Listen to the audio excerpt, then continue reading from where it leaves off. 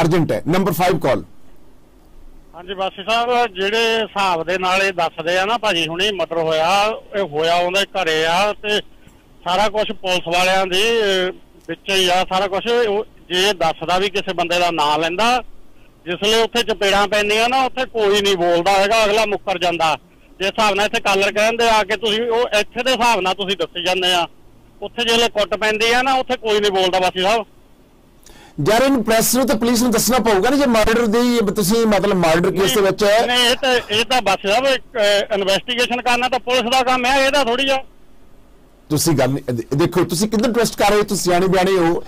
Investigation ਦਾ ਇੱਕ ਹਿੱਸਾ ਆ। ਇਹ ਆਲਰੇਡੀ ਇਹਨੂੰ ਪਤਾ ਹੋਇਆ ਕਿ ਆਹ ਬੰਦੇ ਨੂੰ ਦੱਸਿਆ ਕਿ ਇੰਨੇ ਵਜੇ ਲੱਕੜਾਂ ਜਿਹੜੀਆਂ ਸਿਵੇ ਵਿੱਚ ਲੈ ਗਿਆ ਸਿਵੇ ਤਿਆਰ ਕਰਨ ਲਈ। ਤਾਂ ਇਹ ਉਹਦਾ ਨਾਮ ਦੱਸਣਾ ਚਾਹੁੰਦਾ। ਵਾਈ ਨਾਟ ਸਾਹਿਬ ਉਹਦੀ ਜੇਬ ਇਹਦੀ ਜੇਬ ਦੇਖੋ ਪਹਿਲਾਂ ਕਿੱਡੀ ਗਾ ਜੇ ਤਾਂ ਜੇਬ ਦੇ ਵਿੱਚ ਪੈਸੇ ਆ ਫੇਰ ਦੱਸਿਆ ਜਾ ਸਕਦਾ ਉੱਥੇ। ਉੱਥੇ ਪੈਸੇ ਪਰ ਬੋਲਦੇ ਜੇ। ਮੈਨੂੰ ਇੱਕ ਮੈਂ ਨਾ ਵਾਅਦਾ ਕਰਦਾ ਕਿ ਮੈਨੂੰ ਦੱਸ ਦੇਵੇ। 95% ਪੁਲਿਸ ਵਾਲੇ ਤੁਸੀਂ ਜਿੱਦਾਂ ਮਰਜ਼ੀ ਕਹਿੰਦੇ ਇੱਥੇ ਤੇ ਪੁਲਿਸ ਵਾਲੇ ਬਹੁਤ ਚੰਗੇ ਆ ਬਹੁਤ ਉੱਥੇ ਕਾਨੂੰਨ ਆ ਕਾਇਦਾ ਕਾਨੂੰਨ ਸਾਰਾ ਕੁਝ ਕੁਝ ਨਹੀਂ ਹੈਗਾ। ਜਿਸ ਲਈ ਉੱਥੇ 90% ਪੁਲਿਸ ਵਾਲੇ ਜਿਹੜੇ ਆ ਚੋਰ ਆ 10% Uh, hold on, hold on, ਬੰਦੇ ਆ, ਉਹ hold on, hold on, ਚੱਲਦੇ। hold on. Don't say that ਕਿ 90% ਪੁਲਿਸ ਵਾਲੇ ਏਦਾਂ ਹੀ ਆ ਬਸ ਇਹ No, ਸਭ ਹੀ ਆ I'm sorry. ਅਸੀਂ ਦੇਖਿਆ ਸਾਰਾ. ਕੁਝ ਅਸੀਂ ਵੀ ਉੱਥੋਂ ਆਏ ਹਾਂ ਅੱਜ ਇੱਕ second. Don't say that. Don't say that. Don't say that. ਇਦਾਂ ਹੀ ਆ.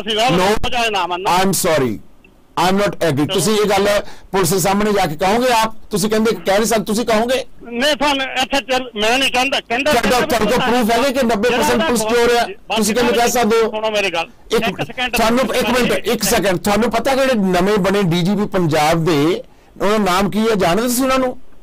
ਤੁਹਾਨੂੰ ਕੀ ਲੱਗਦਾ ਫਿਰ ਪੰਜਾਬ 'ਚ ਕ੍ਰਾਈਮ ਨਹੀਂ ਹੋ ਰਿਹਾ? ਇੱਕ ਸੈਕਿੰਡ ਉੱਥੇ। ਕੀ ਕੀ ਕੈਨੇਡਾ ਕੀ ਇੱਕ ਮਿੰਟ ਸਰਦਾਰ ਸਾਹਿਬ ਕੀ ਕੈਨੇਡਾ ਵਿੱਚ ਕ੍ਰਾਈਮ ਨਹੀਂ ਹੋ ਰਿਹਾ?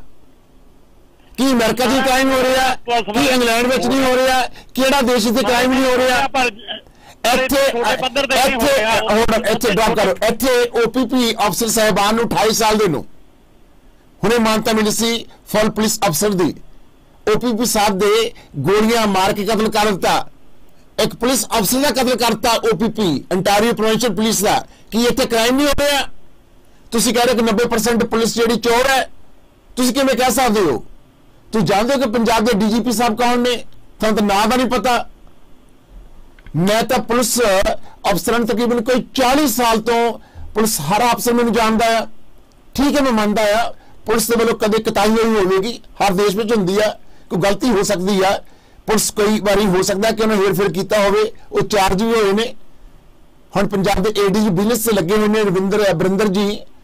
ਔਰ ਨੰਬਰ 1 ਐਸੇ ਅਫਸਰ ਨੇ ਕੋਈ ਵੀ ਬੰਦਾ ਕਲੇਮ ਨਹੀਂ ਕਰ ਸਕਦਾ। ਹੋਰ ਵੀ ਬਹੁਤ ਸਾਰੇ ਅਫਸਰ ਸਹਿਬਾਨ ਨੇ, ਜਿਹੜੇ ਕਿ ਆਪਣੀ ਡਿਊਟੀ ਕਰਦੇ ਆ ਔਰ ਅਨਸਾਰ ਦਿੰਦੇ ਆ। ਜੇ ਨਾ ਅਨਸਾਰ ਦਿੰਦੇ ਹੋਣ ਤਾਂ ਜਿਹੜੇ ਮਿਨਿਸਟਰ ਇਸ ਵੇਲੇ ਜੇਲ੍ਹ ਚ ਨਾ ਜਾਂਦੇ ਹੁੰਦੇ। ਆ ਬੈਸ ਜੇਲ੍ਹ ਚ ਨਾ ਹੁੰਦਾ। ਆ ਸਿੱਧੂ ਜੇਲ੍ਹ ਚ ਨਾ ਹੁੰਦਾ। ਆ ਕੀ ਆ ਪੂਸ਼ਨ ਜਿਹੜਾ ਲੰਬੇ ਬਾਲਾਂ ਵਾਲਾ, ਇਹ ਜੇਲ੍ਹ ਚ ਨਾ ਹੁੰਦਾ।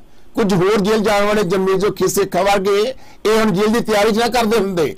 ਹਰ ਇੱਕ ਬੰਦਾ ਚੋਰ ਨਹੀਂ ਹੈ। ਤੁਸੀਂ ਇਹ ਨਹੀਂ ਕਹਿ ਸਕਦੇ ਕਿ ਇੰਨੇ ਪਰਸੈਂਟ ਚੋਰ ਹੈ ਤੇ police. Don't say that I'm not agree at all police ਜਿਹੜੀ ਇਮਾਨਦਾਰ ਹੈ, ਬਹੁਤ ਪੜ੍ਹੇ ਲਿਖੇ ਨੇ।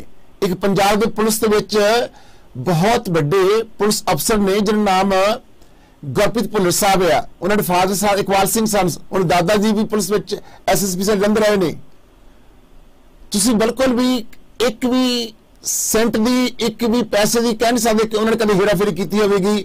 ਜੱਦੀ ਪੁਸ਼ਤੀ ਮੀਰ ਪਰਿਵਾਰ ਵਿੱਚੋਂ ਨੇ, ਉਹ ਸ਼ੌਕ ਨਾਲ ਪੁਲਿਸ ਅਫਸਰ ਬਣੇ ਨੇ। ਉਹ ਆਪਣੀ ਡਿਊਟੀ ਨੂੰ ਨਿਭਾ ਰਹੇ ਨੇ। ਮੈਂ ਇਹ ਕਹਿ ਸਕਦਾ, ਮੈਂ ਜ਼ਿੰਮੇਵਾਰ ਲੈ ਸਕਦਾ ਬਹੁਤ ਸਾਰੇ ਪੁਲਿਸ ਅਫਸਰਾਂ ਦੀ ਕਿ ਜਿਹੜੇ ਇਮਾਨਦਾਰੀ ਨਾਲ ਕੰਮ ਕਰਦੇ ਨੇ।